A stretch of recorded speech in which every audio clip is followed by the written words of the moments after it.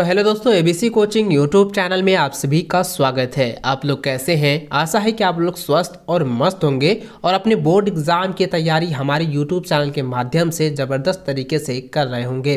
दोस्तों, आज की इस वीडियो में कक्षा ग्यारहवीं कॉमर्स का अकाउंटेंसी सब्जेक्ट का most important we objective question बताने वाला हूँ, जो कि आपकी बोर्ड की परीक्षा में, इस वीडियो में बताए गए क्वेश्चन में से कई सारे क्वेश्चन आपकी बोर्ड की परीक्षा में पूछे जाएँगे। तो सभी छात्र इस वीडियो को शुरू से अंत तक देखेंगे।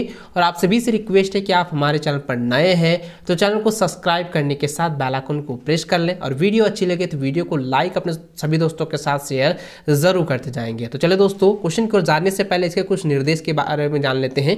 तो देखिए दोस्तों, जैसे कि आप लोगों को मार्कशीट पर जो एग्ज़ाम्स लिया जाएगा, उसमें आपको ध्यान देनी है कि आपका जो नाम है, ठीक है, आप अपना नाम रोल कोड अनुक्रमांक पंजीयन संख्या, परीक्षा की जो तिथि है, यानी किस डेट पर आपका एग्ज़ाम्स लिया जाएगा, किस विभाग से है, यानी कि आपका कॉमर्स है साइंस है या आर्ट्स है, वो आपको दर्शाना है और किस विषय का एग्ज़ाम्स लिया जाएगा, उसको जो है मार्कशीट पर अच्छे से जो है आपको जगह पर जो है फिल करनी है, अच्छे से आपको वहाँ पर भरना है। साथ ही दोस्तों, आप अपना पूरा नाम का जो हस्ताक्षर है, उसे मार्कशीट पर आप लोग अच्छे से करेंगे, ठीक है? बात करें आपके क्वेश्चन की तो देखिए दोस्तों, मैं आपको बता दूँ कि आपके जो क्वेश्चन पेपर में कुल मिलाकर जो है चालीस बहुकल्पिक प्रश्न पूछे जाएँगे, जिसमें कि सभी प्रश्न आप लोगों को करना अनिवार्य है और सभी प्रश्न जो है एक अंक का होगा, ठीक है? और प्रत्येक प्रश्न में जो है चार चार विकल्प आप लोगों को दिए जाएँगे। इसमें जो है सबसे जो सही आंसर होगा, उसको जो है आपको मार्कशीट पर गोले को काला या नीला करके जो है आपको फिल करना है। यानी कि आपको जो है नीला और काला बॉल पेन का ही उपयोग करनी है। पेंसिल का प्रयोग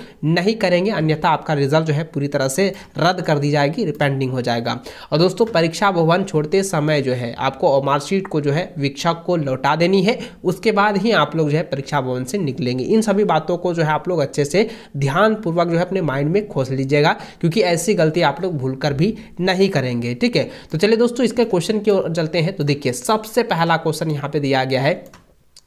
पुस्तक पालन और लेखांकन का प्रथम पुस्तक कब प्रकाशित हुई थी? तो दोस्तों, इसका आंसर हो जाएगा उन्नीस चौदह सौ चौरानवे ईस्वी, ठीक है? Option number C. अगला क्वेश्चन है कि दीर्घकालीन दायित्व है? तो ऑप्शन नंबर बी, इसका सही आंसर होगा ऋण पत्र जो है, एक दीर्घकालीन दायित्व है। अगला क्वेश्चन है, रूढ़ीवादिता के सिद्धांत के अनुसार अंतिम स्टॉक का मूल्य निकाला जाता है? तो इसका आंसर हो जाएगा ऑप्शन नंबर सी, लागत मूल्य एवं बाज़ार मूल्य में जो कम हो। अगला क्वेश्चन की ओर चले तो चौथा नंबर क्वेश्चन है कि ले, लेखांकन सिद्धांतों का महत्व है। तो इसका आंसर जाएगा इनमें से सभी। क्योंकि दोस्तों लेखांकन सिद्धांतों में से जो है ये निवेशों के लिए लेखापालों के लिए और अंक छेकों के लिए ये सभी चीज़ आते हैं। ठीक है तो इसलिए दोस्तों इसका जो आंसर होगा ऑप्शन नंबर डी इसका सही आंसर होगा। अगला सवाल है पांचवा नंबर कि किस अवधारणा के अनुसार व्यवसाय के स्वामी को व्यवसाय का लेनदार कहा लेनदार माना जाता है? तो दोस्तों इसका आंसर जाएगा ऑप्शन नंबर डी इकाई की अवधारण, ठीक है? यानी कि इंटिनी कॉन्सेप्ट ठीक है? ऑप्शन नंबर आपका जो डी है, वो सही आंसर होगा। इसको अच्छे से याद रखेंगे। अगला क्वेश्चन है कि रोज नामचा रोज नामचा में कितने कॉलम होते हैं? तो इसका आंसर जाएगा, पाँच कॉलम होते हैं ऑप्शन नंबर सी अगला क्वेश्चन है कि लेन देनों की संक्षिप्त व्याख्या को कहते हैं। तो उसको हम लोग कहते हैं स्पष्टीकरण ठीक है? ऑप्शन नंबर सी इसका सही आंसर होगा। अगला क्वेश्चन है कि रोडर बही के नगद खाने का शेष सदैव होता है। तो शेष सदैव क्या होता है? उसे हम लोग डेबिट कहते हैं। ठीक है? आप लोगों को पता होगा। आप लोगों को पता है ना कि डेबिट कार्ड, ये इसी से जुड़ा हुआ है। नगद खाने को ही हम लोग डेबिट कहते हैं। ठीक है? याद रखेंगे। अगला क्वेश्चन है कि विक्रय बही में लिखा जाता है। तो विक्रय बही में जो है, माल का सभी उधार विक्रय को लिखा जाता है। तो ऑप्शन नंबर डी इसका सही आंसर होगा। अगला क्वेश्चन है कि पासबुक का पासबुक के डेबिट शेष का अर्थ है। तो देखिए दोस्तों, यह जो है ना रिपीटेड क्वेश्चन है। इसको अच्छे से आप लोग ध्यान समझेंगे और इसको अच्छे से याद कर लीजिएगा। देखिए, दसवां नंबर जो क्वेश्चन है, काफ़ी वीवीआई है। इसको आप लोगों को जो है अच्छे से रट लेनी है। तो यहाँ पे क्वेश्चन दिया है कि पासबुक पासबुक के डेबिट शेष का अर्थ होता है। यानी कि debit balance as per cash book means तो इसका आंसर जाएगा अनुकूलन शेष ठीक है? यानी कि इसको कहते हैं फॉर्बल बैलेंस तो ऑप्शन नंबर आपका बी जो है सही आंसर होगा। अगला क्वेश्चन है कि जब ग्राहक माल लौटाता है, तब उसे भेजा जाता है। उसे क्या भेजा जाता है? जमा पत्र भेजा जाता है, यानी कि क्रेडिट नोट भेजा जाता है। जैसे कि दोस्तों, मान के चलिए, आप अगर आप बैंक गए हैं और बैंक में कुछ आप पैसे जमा कर रहे हैं तो उसको हम क्या कहते हैं? उसको हम क्रेडिट करना कहते हैं, यानी कि जमा करना। और जब पूरी तरह से जमा हो जाता है तो बैंक के द्वारा जो है हमारे मोबाइल पर, हमारे नंबर पर जो है एसएमएस आता है, जिसको कहा जाता है डेबिट यानी क्रेडिट मैसेज आया हुआ है, ठीक है? तो वही आपका यहाँ पे पूछा गया है कि जिस ग्राहक माल लौटा दिया जाता है तो उसे क्या भेजा जाता है? उसे जो है जमा पत्र भेजा जाता है, क्योंकि उन्होंने जमा किया। तो ठीक है, ऑप्शन नंबर बीस का सही आंसर होगा। अगला सवाल है कि पाँच हज़ार रुपये का माल मुफ़्त में नमूना के तौर पर बाज़ार में वितरित किया गया। रोज़ाना, देखिए, रोज़ाना मचा में प्रविष्ट होगी। तो दोस्तों इसका आंसर जाएगा क्या होगा कि यह जो है ना एडवाइजमेंट के लिए, ठीक है? एडवाइजमेंट के लिए जो है पाँच हज़ार रुपये पे कर रही है और परचेज के लिए जो है पाँच रुपया पे की गई है। यानी कि ये जो है प्रचार विसार के लिए, यानी कि जो है किसी भी प्रोडक्ट का, जैसे कोई एक माल हुआ, उसका नमूना जो है बाज़ार पर लाया गया, पाँच हज़ार के तौर पर, उसको कीमत कितनी है? पाँच हज़ार है।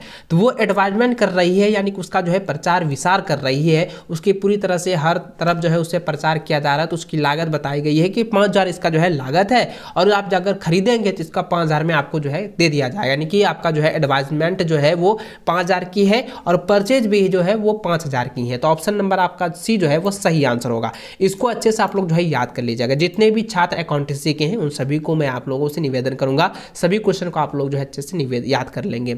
अगला क्वेश्चन देखिए, यहाँ पे दिया गया है तेरह नंबर कहता है कि तलपट किस प्रकार की शुद्धता को दर्शाता है? तो दोस्तों, उसको कहते हैं अंक गणितीय। ठीक है ऑप्शन नंबर आपका बी सही आंसर होगा। अगला क्वेश्चन है कि तलपट है तो तलपट क्या है? वो एक विवरण है। ठीक है ऑप्शन नंबर आपका ए सही आंसर होगा। अगला क्वेश्चन है कि राजन ने जो है 2900 की माल बेचा, परंतु विक्रय में, विक्रय बही में, यानी कि जब विक्रय करता है तो उसे नौ हज़ार लिखा गया, ठीक है? यानी कि विक्रय खाता में उसका जो है दो हज़ार दो सौ रुपया लिखता है। तो अब ये क्या कहलाएगी? तो दोस्तों, यह जो होगा, क्या क्या उसके हिसाब किताब में क्या है अशुद्धियाँ हैं? तो दोस्तों, यहाँ पे क्या हो जाएगा? इसका ऑप्शन नंबर बी जो है सही आंसर होगा, हिसाब की अशुद्धियाँ, ठीक है? ऑप्शन नंबर बीस का सही आंसर होगा। अगला क्वेश्चन है कि हरास एक प्रक्रिया है। तो हरास क्या है? हरास आप लोगों को पता है ना? यानी कि हरास क्या है? यानी कि depression is a process of यानी कि डिप्रेशन क्या होता है? तो डिप्रेशन का इसका आंसर हो जाएगा दोस्तों ऑप्शन नंबर सी हो जाएगा। संपत्तियों के लागत को उनके उपयोगी जीवन में बांटने का। ठीक है? ऑप्शन नंबर सी इसका सही आंसर होगा, इसको अच्छे से नोट कर लीजिए। अगला क्वेश्चन है कि अप्रजल अप्रचलन के कारण मूल्य में कमी का क्या अर्थ है? तो दोस्तों, इसका आंसर जाएगा ऑप्शन नंबर डी नवनिर्माण एवं आविष्कार। ठीक है ऑप्शन नंबर डी इसको सही आंसर अच्छे से रख लीजिएगा। अगला क्वेश्चन है कि एक मशीन जो है, बीस हज़ार में खरीदी गई और क्रमागत हरास विधि से बीस प्रतिशत वार्षिक की दर से जो है हरास लागत गाया, लगाया गया, ह्रास लगाया गया और तीसरे वर्ष में, वर्ष के अंत में संपत्ति का मूल्य होगा। तो यानी कि दोस्तों, यहाँ पे ये कह रहा है कि कोई भी एक मशीन है, मान के चलिए कोई एक मशीन है जिसकी लागत जो है, यानी कि जो खरीद बिक्री, खरीद का जो दाम है वो बीस हज़ार है और उसे खरीदी गई है, बीस हज़ार रुपये में खरीदी गई और कर्मागत जो है, यानी कर्मागत जो है उसकी हरास विधि से जो है बीस परसेंट वार्षिक दर से जो है हरास लगाया गया और तीसरे वर्ष के अंत में उसकी जो है संपत्ति का मूल्य क्या होगा? तो तो देखिए दोस्तों, यहाँ पे 20 20 परसेंट करके यहाँ पे हो रहा है। तो 20 20 परसेंट करके यहाँ तो क्या हो जाएगा? घट रहा है। तो ये इसका जो आंसर होगा ना तो ऑप्शन नंबर डी इसका सही आंसर होगा। दस रुपया हो जाएगी, ठीक है, तीसरे वर्ष में। तो ऑप्शन नंबर डी इसको अच्छे से याद रखेंगे। अगला क्वेश्चन है कि आयोजन है। तो आयोजन क्या है? आयोजन जो है एक प्रकार का लाभ के ऊपर ऊपर प्रभार है, ठीक है। ऑप्शन नंबर बीस इसका सही आंसर होगा। अगला क्वेश्चन है कि डूबल डूबत ऋण या अपर्या पर्याप्त ऋण से प्राप्ति। तो दोस्तों, यह जो आंसर है ना, ये इसका आंसर आप लोगों को हंड्रेड परसेंट पता होगा, क्योंकि ये जो है ना, कई बार पूछा जाता है, यानी कि recovery of the bad diabetes तो इसका आंसर क्या हो जाएगा? आयगत प्राप्ति, ठीक है? यानी कि रेवेन्यू रिसेप्ट। तो ऑप्शन हो जाएगा? रेवेन्यू रिसिप्ट हो जाएगा, ठीक है? ऑप्शन नंबर ए, इसका सही आंसर होगा। अगला सवाल है, कहता है विनिमय पत्र एक प्रकार का लेख पत्र है। तो कौन से प्रकार का लेख पत्र है? तो इसका आंसर जाएगा शर्त रहित जो है लेख पत्र है। तो ऑप्शन नंबर ए, इसका सही आंसर होगा। अगला क्वेश्चन है कि विनिमय बिल बिल में पत्रकार होते हैं। तो इसका आंसर जाएगा उपयुक्त सभी, यानी कि एक लेखक स्वीकृता और प्राप्तकर्ता, ये सभी होते हैं। ठीक है तो ऑप्शन नंबर डी, इसका सही आंसर होगा। अगला क्वेश्चन है कि नोटिंग वेब का भुगतान बिल का धारक द्वारा किया जाता है, परंतु इसे वसूला जाता है। तो इसका आंसर हो जाएगा ऑप्शन नंबर बी हो जाएगा स्वीकृता से यानी कि ड्रेवी से ठीक है ऑप्शन नंबर आपका बी सही आंसर होगा। अगला क्वेश्चन है, यहाँ पे जरा ध्यान दीजिएगा, ये काफ़ी बीबीआई है, इसको अच्छे से आप लोग समझेंगे। यहाँ पे दिया है कि ए ने बी पर एक बिल लिखा। ए ने बी सी को बेचा, बेच बेचैन कर दिया। यानी कि जो है ए जो है बी को जो है बिल लिखा है और ए ने जो है सी को जो है, बेचैन कर दिया और बिल का पर्याप्ता होगा। तो दोस्तों, किस पर होगा? ये जो है सी पर ही होगा। तो ठीक है, ऑप्शन नंबर आपका सी सही आंसर होगा। अब यहाँ पे जरा ध्यान दीजिए दोस्तों, यह जो एक यहाँ पे कॉलम दिया गया है, ये जो आप देख पा रहे हैं कि यह जो एक सूचना का आधार बनाया गया है। दिया है, नीचे ये दे तल तलपट की सूचनाओं के आधार पर प्रश्न संख्या 31 से 36 के लिए उत्तर दीजिए। तो आप यहाँ पे एक बार जो देख लीजिए, ये जो है तलपट का एक सूचना तैयार किया गया है, जिसमें पूंजी, रहितोई, रोकड़, क्रय, विक्रय, ये सभी चीज़ें यहाँ पे दी गई है। अब इसका आंसर मैं यहाँ पे बताते जाऊँगा। तो देखिए आप पच्चीसवां नंबर का क्वेश्चन दिया गया है, कह रहा है कि शुद्ध क्रय तो शुद्ध क्रय नेट परचेज क्या है? तो नेट परचेज आपको यहाँ पे देख आपको बताना है। तो ठीक है, यहाँ पर देख आपको बतानी है। तो चलिए मैं इसका बताते जाऊँगा। तो यहाँ पे ध्यान दीजिए। दीजिएगा तो सबसे पहले यहाँ पे देखिए, इसका जो आंसर होगा वो ऑप्शन नंबर सी हो जाएगा। अंठावन हज़ार जो है, ये शुद्ध क्रय है, यानी कि नेट परचेज है, ठीक है? अगला क्वेश्चन है कि शुद्ध विक्रय, यानी कि नेट सेल कितने हैं? वो चौरानवे हज़ार रुपये है। तो ऑप्शन नंबर बी सही आंसर होगा। अगला है, यदि अंतिम रहिता छत्तीस हो तो सकल लाभ होगा। तो यानी कि सकल लाभ यहाँ पे पूछा गया है, यानी प्रॉफिट तो इसका आंसर क्या आ जाएगा? इसका दस हज़ार और जुड़ेगा ना, क्योंकि यहाँ पे आप इसमें देखेंगे तलब जो आपकी यहाँ पे जो है ये आलेख जो यहाँ पे दिया गया है, इसमें आप अच्छे से ध्यान दीजिएगा। तो इसके अनुसार जो है दोस्तों, इसका आंसर हो जाएगा छियालीस हज़ार। यानी कि छत्तीस हज़ार पहले था और इसका शक्ल लाभ क्या हो जाएगा? दस हज़ार और जुड़ जाएगा। तो कितना हो जाएगा? छियालीस हज़ार रुपये। अगला क्वेश्चन है कि देनदारों, यानी कि देनदारों पर पाँच प्रतिशत संचय बराबर क्या होगा? तो वो हो जाएगा दो हज़ार रुपये। ठीक है, चलिए। अगला क्वेश्चन है कि उपसार, देखिए उपसर पर जो है दस प्रतिशत प्रति वर्ष की दर से हरास होगी तो इसका आंसर हो जाएगा बारह सौ रुपये। तो ऑप्शन नंबर ए इसका सही आंसर होगा।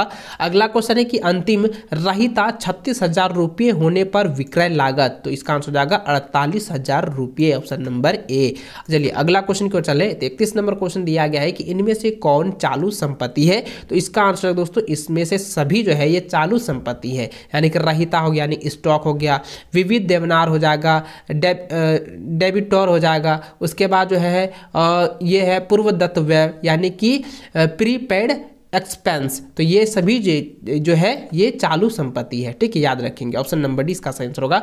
अगला सवाल है कि यदि विक्रय मूल्य है चार चार लाख रुपये और विक्रय लागत है तीन लाख दस हज़ार रुपये तथा परिचालन व्यय है साठ हज़ार रुपये तो सकल लाभ होगा। तो दोस्तों, इसका आंसर हो जाएगा नब्बे हज़ार रुपये। ऑप्शन नंबर बी, इसका सही आंसर होगा। इसका एक फॉर्मूला होता है। इसका फॉर्मूला मैं आपको अच्छे से बता दूँगा, ठीक है? कैसे इसका निकाला गया?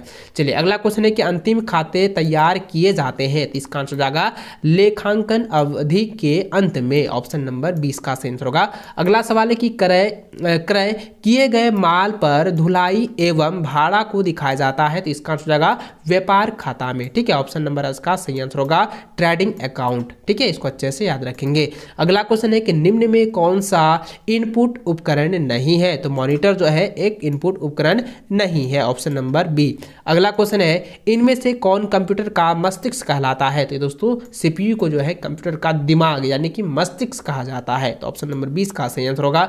अगला सवाल है कि कौन से दो अंक बाइनरी पद्धति में उपयोग होते हैं तो इसका आंसर जाएगा ज़ीरो एक। ऑप्शन नंबर ए जो बी जो है, संयंत्रों का ज़ीरो एक, ठीक है? अगला क्वेश्चन है, लेखांकन प्रतिवेदन।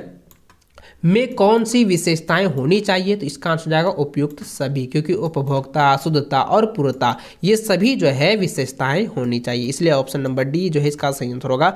अगला सवाल दिया गया है कि निम्न में से कौन डी बी एम एस का उपकरण है? तो दोस्तों, इसका जो आंसर होगा, वो हो जाएगा फाइलम मैनेजर और डाटा शब्दकोश। ये दोनों, यानी कि ए और सी दोनों हो जाएगा। इसलिए दोस्तों, इसका आंसर हो जाएगा ऑप्शन नंबर डी अगला क्वेश्चन है कि एस क्यू एल का पूरा पूरा नाम है तो एस क्यू एल का पूरा नाम है स्ट्रक्चर क्वेरी लैंग्वेज ठीक है? तो ऑप्शन नंबर ए जो है इसका सही आंसर होगा। इस वीडियो में दोस्तों मैंने आपको 40 क्वेश्चन बताए हैं। 40 से क्वेश्चन आप लोगों को अच्छे से तैयार कर लेनी है और इससे आपके कई सारे क्वेश्चन जो है बोर्ड की परीक्षा में पूछे जाएँगे। इसलिए दोस्तों एग्ज़ाम से पहले इनको अच्छे से रिविजन कर लेना और आई होप दोस्तों आज इस वीडियो को आप लोग अच्छे से आ, समझ गए होंगे। और अगर आपको अच्छी लगी हो तो वीडियो को लाइक और अपने दोस्तों के साथ शेयर करें। चैनल पर नए हैं चैनल को सब्सक्राइब करने के साथ बेलाइकन को प्रेस कर लें ताकि इसी प्रकार से आने वाली वीडियो की नोटिफिकेशन आप लोगों को मिल सके।